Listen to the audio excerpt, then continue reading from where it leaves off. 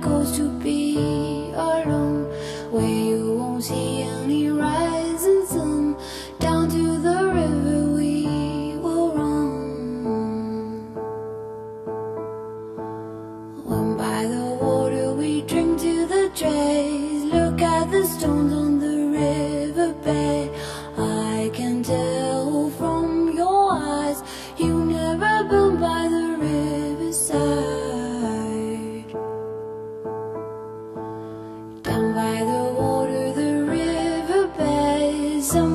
calls you, somebody says, swim with the current and